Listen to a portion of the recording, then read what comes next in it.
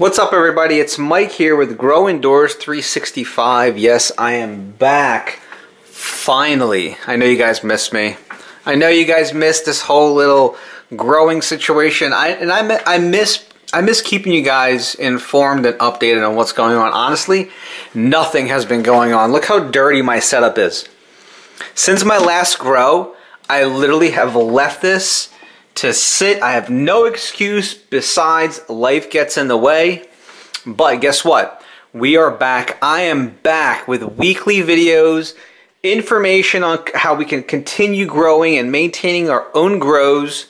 I'm pretty stoked actually. I mean, I, I miss having my own grow, especially.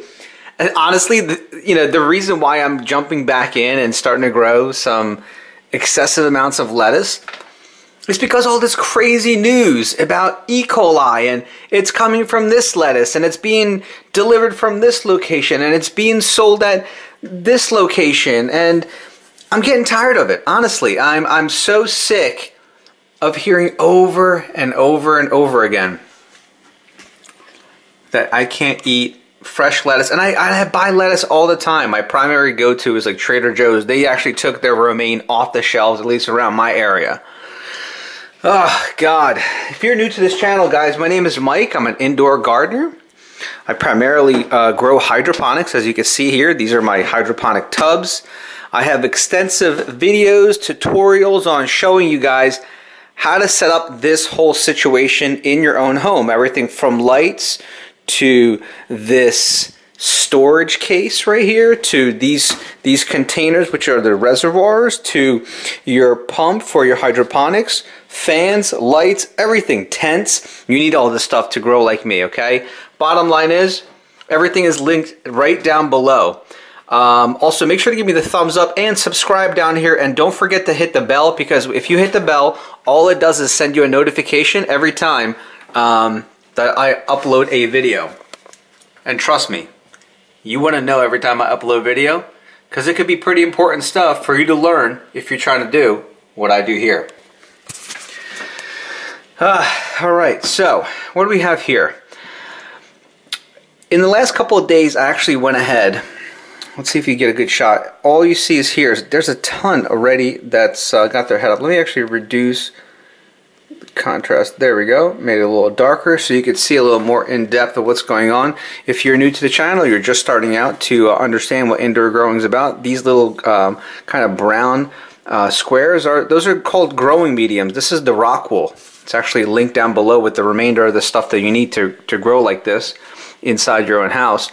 But and there's also videos of how I pre-germinate my seeds. Now, there's a there's a situation going on here. There's a variety of of seeds that are already pre-germinated. As you can see here, all these green heads. You see all these little green heads? These are all lettuce that's already ready to rock and roll. Over here, but not here, not here, not here, but we also have some here. Now I did a few different variations. I have a ton of these. And I actually do not like this. This is These are pelleted seeds. And what that means is they come in this type of form. As you can see, it's like a little little eggshell. And inside there, it's basically it's coated. Now inside of there is a seed. And as you can see closely here, let me see if I can get a good shot. There it is right there. You see how it's sitting inside of that rockwool cube? Basically, I have to wait for it to hatch. as crazy as that sounds, it, it, the shell, the exterior shell, um, it basically breaks away uh, as water is kind of, I guess, put on uh, over the top. Now, I, I honestly don't love this method because I feel like it takes way too long for the seeds to grow. And the way that I usually do it is the, the, a method that I taught everybody on the net. I mean, it's such a valuable lesson to learn on just basically you take a you take a little dish, you put your seeds in there, you wait a few hours, and then you just tap the seeds, and as soon as they float to the bottom, you wait two to three days, and boom, you're gonna have a little flower just like this growing inside the water.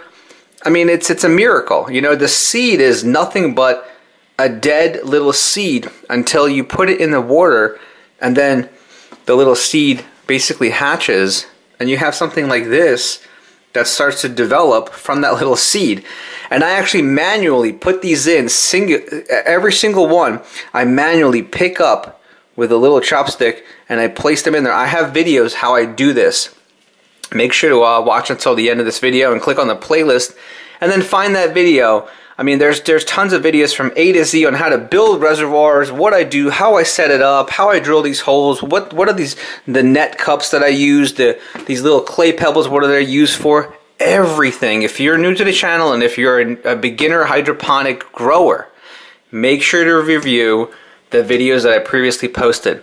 Super informative. In today's age, we don't know what is going on with our food, and I'm sick and tired. Again, I'll reiterate this information again. I am sick and tired of going to the supermarket and not being able to buy a nice head of lettuce because I don't know what's going on with it. There's too much news. It go, it's everywhere. E. coli, E. coli, E. coli. It's, it's going from the lettuce. It's growing from the cucumbers. Some of the most favorite things that I eat. I juice all the time with cucumbers. Now they're saying it's linked to cucumbers. First it's lettuce, and it's like month after month, that's different information. It's really frustrating. And you know, it's it's also interesting when I uh, when I spoke about like an economic collapse and how you can maintain an indoor grow and, and, and seeds are more valuable than currency. I saw some comments of people, oh, that would never happen. Look at Argentina. Look at the certain places in the world that you're not even familiar with or you're, you don't have your ear to the ground to know what's going on in the news today to realize that for a piece of lettuce, it's, it's, it's probably more expensive than what you're paying for your mortgage because of the, you know, I don't even know the currency or inflation. I don't even know what's going on over there, but it's bizarre. To be able to maintain something like this on your own will allow you to basically survive. You know, allow yourself to grow clean and healthy food. I mean, I, I only grow lettuce primarily, basil, and a couple other things, but a lot of the other things that require pollination, which are flowers, it's a little harder to grow indoors. And I also have previous videos about that. So with all of these, I mean, what do I have here? One, two, three, four, five, six, seven, eight, eight, but nine, seven. Uh, it's okay. It's nine, uh, twenty-four. Okay, I mean, uh, twenty-seven. All right. So I, I actually basically have enough for a top row and a bottom row, and I think that's what's going to happen. I mean, I'm just waiting for these three, for these three um, trays right there, the top, these three right here, to um, to get cracking, literally. Um, and, and as soon as it happens, I'll get this all cleaned up. All this light will be shining. And uh, both of the pumps, I only use this pump, the General Hydroponic. The link is right down below. Uh, I only use this pump specifically for my grows. If you guys are buying other pumps other than the link is down below, I don't recommend it. Because one, they're underpowered. Two, they overheat. And three, they're super loud if you're buying this as a first timer and you know you want to spend $30 instead of 60 don't be foolish okay you're going to spend more time returning it being annoyed your wife is going to scream at you that it's too loud and it's a hazard because it gets so hot inside the tent only buy the pump that i recommend down below i found it uh, you know, I found that, that pump by trial and error. I bought several pumps. I think I went through like three different pumps because I thought this one was better, this one was better. No, this is the one the link is down below for the hydroponic pump. Hit that link. Also, a lot of you guys have been messaging me on Facebook and even through the channel in the comments, where do I find these reservoirs? That's a good question. If you guys are long-time subscribers, you know that the company that made these has discontinued them, unfortunately. Now, the links down below are now pointing to a different set, the same size, same amount of gallons of water, everything and I think they could actually be pretty useful and they could definitely work out for you. In the near future, I'm really trying to get something together to provide my own type of uh, reservoirs and just everything that you would need like in a package. Um, that's far away, but that's definitely on the table because since I have a decent amount of experience on maintaining my growth, uh, you know, and when I say that, I'm talking about never able, never failing in the sense of being able to germinate. This is the hardest part right here. Setting all this stuff is pretty easy, guys. Okay, you just the piece of plastic, drill a couple holes on it, throw some net cups, you put some tubing in, put an you know aerator stone inside, and boom, you have yourself a hydroponic set. Okay, this is a pretty large scale. I mean, three reservoirs across at the bottom, three reservoirs at top. It's not easy to maintain this. Oh, we got a little guest. That's my buddy Fernando. Psst, psst, psst. Love him. He's so silly. Um, and that's really it.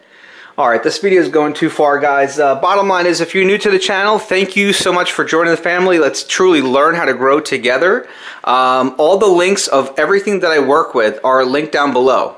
Okay, from the nutrients to the lights to the rock wool to the tubing, hydroponic pumps, fans, the shelving that's required for such a thing like this, and especially the tents. You need, you're going to need a tent. Okay, this mylar reflection is very important because when this is all enclosed in, you want as much light reflecting out into this area. Okay, I only open this up. I remove the dome as soon as I get home from work in in this stage. Okay, it'll probably be domed for probably another week, and it's kind of on and off, on and off. And uh, it's pretty cold outside, and the, it's not even that hot inside the tent due to the fact that it's so cold outside. But you'll see um, as we progress every single week, I'll be giving you guys updates. And um, you know, bottom line is, I, I, actually just it just it just um, I actually wanted to talk about this, but what I wanted to say was the reservoirs that I found. I found a new one. okay, it's going to be the first link just on this video, and the the other additional links will also include it. But those are all the things that you need. But uh, check this one out right here. Okay, I found it right online and the link is down below for it and I think it's going to work just just well enough for everybody to maintain a good grow and also it's it's it's it's not white so you might reduce yourself from having uh, algae buildup inside uh, you know usually when you have something like this there could be light that's uh, going through and obviously light's going to go through it because these net cups all have kind of um, they're cut in a certain way like this, so there's probably going to be a, a, possibility for light to get in. That's why there's algae buildup now. There's nothing wrong with the algae. It's not harming your crop or anything.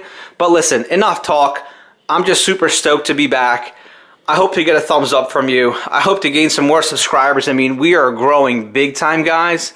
So many people are reaching out to, you know, learn a little more in depth because they have some questions, because they they found the video extremely helpful, like one of my largest videos that has well over 200,000 views, which is awesome. Um, and that's it. Thank you guys so much for watching. This is Mike with Grow Indoors 365. Also, make sure you um, check out growindoors365.com. It's basically just uh, images, some links to my videos, and also links to products that I found very helpful to, for me to maintain my own growth, such as all this stuff. Again, thank you so much. Give me the thumbs up. I hope to see you guys soon. Holidays are coming up. Winter is around the corner. Oh, well, winter's here. It's literally, it actually snowed. Let me actually take you right here, guys. Let me show you. It actually snowed. Okay, in my backyard, there's already snow on the ground. It was a nice little, nice little sprinkle today. But uh, guess what? I got fresh greens that are going to be flourishing in the next 35 days. I'll probably probably hit these way earlier than that. Hopefully some way, somehow it accelerates and I can have some, a beautiful, delicious salad that is from my own indoor grow. Alright guys, that's it. Enough ranting because I'm just uh, super amped up to uh, be back on getting some videos online. Thank you guys so much for watching. Talk to you guys soon.